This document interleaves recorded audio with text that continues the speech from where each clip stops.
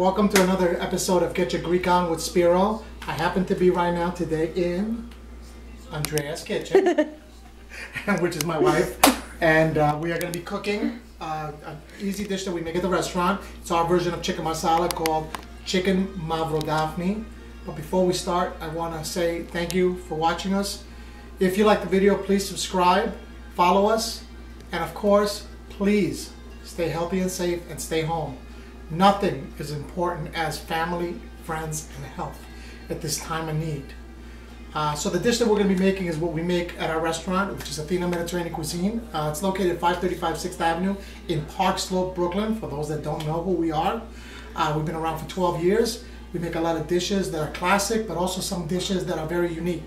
And one of the dishes that we are going to make today, again, is our version of chicken marsala. And the ingredients today we're going to be using is our chicken breast. Now the chicken breast usually is going to come out very thick. So what you want to do is that you want to cut it into smaller pieces, remove all the fat, and you know just by slicing it thin uh, uh, across.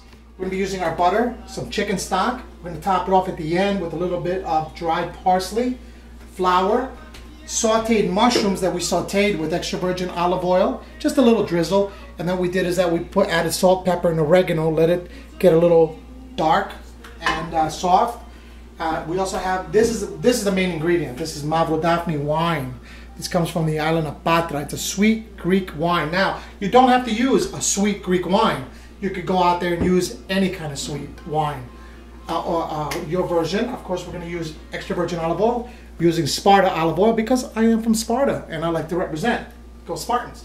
And uh, we're also going to use some sea salt. Of course, this happens to be Greek, and some fresh ground pepper. That's it. It's very simple. And what we're going to do is that we're going to start off with our beautiful oven over here, my wife's kitchen, and uh, we're going to start it off with a little bit of olive oil. We're just going to put it at the bottom of our pan. Now, you don't have to go crazy with this. It doesn't have to be extra virgin Greek olive oil. I like to use olive oil, but of course, use whatever you like. Just put enough to cover the pan. That's it. Okay, you don't have to go crazy. Now, once this heats up, what we're going to do is we're going to use the, uh, the chicken breast we're gonna dip it in flour. Now it doesn't have to be white flour, it could be whole wheat flour, whatever you like. You could even use the gluten-free flour, which we do have at the restaurant. Uh, we're also gonna be uh, adding a little bit of butter, chicken stock, salt, pepper, and uh, our dish will be ready in a few minutes. Before we get that, something about me now. So, the people that know me, uh, they know that I'm a little wacky, and uh, I decided to give myself a haircut. I said, eh, how hard could it be? So I got the razor, I put it on high so it doesn't cut a lot. And I went across. I said, damn, messed it up. I said, let me try to fix it. So I tried to do it on that side. Oh my God. So anyway, the outcome is not what I expected, but this is what we got. and my wife, she asked me, she said, please let me be there, let me be there. But I decided to do it on my own, and now I am bald. so, uh, uh, okay, so I think uh, the oil should be getting a little hot. Uh, if you start seeing the oil getting a little bit of bubbles, you know that it will be hot enough for you. Um, it's not quite there, but we're gonna just start. So we're gonna take the chicken breast and we are gonna put some flour on it. Okay, get it nice and coated in there. And we're gonna put it in the pan. All right, now my wife has an alarm in here that goes off no matter what. Uh, it's a smoke alarm. Unfortunately, it does go off quite a lot. So wash your hands after you use any kind of raw meat. Try to get it you know, nice and clean, especially nowadays with all this craziness with the coronavirus. Okay, so we have our spatula. Now, the thing is that when it cooks, you want to remove the oil. That's the important part. Okay, so we are going to remove the oil. So you notice that it's getting brown now on one side. You want it to get that little brownness. See how it's getting a little brown?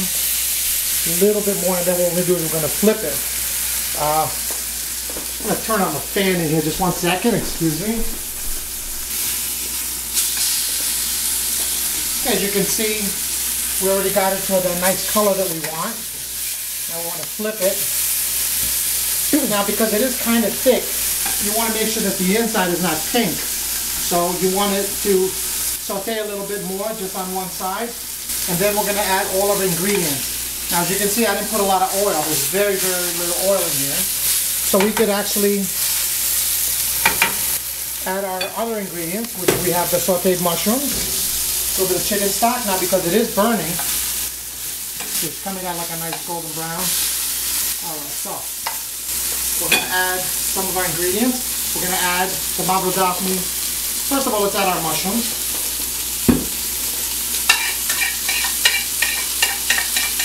Okay, nice. They're already cooked, so you don't have to worry about them. Then we're going to add a little bit of our chicken stock. Okay. A little more. Okay, let's not forget our salt and pepper.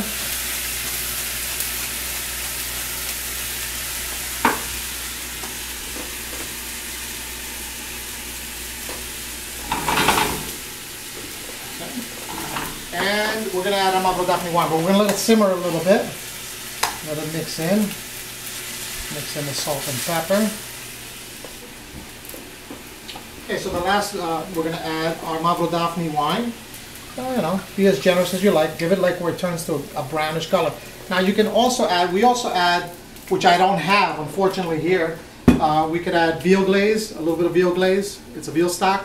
Or also you can add the um, truffle oil. Just a little bit of dab of truffle oil gives it a very aromatic flavor. Uh, it's my fault. I was at the restaurant picking up stuff and I did not pick up the uh, the truffle oil.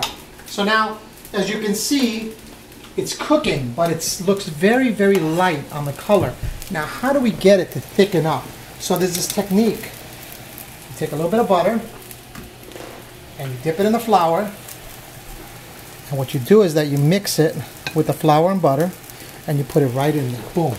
And what's going to do is that it's going to glisten it. It's going to give it a nice glistening uh, coat, excuse me, on that.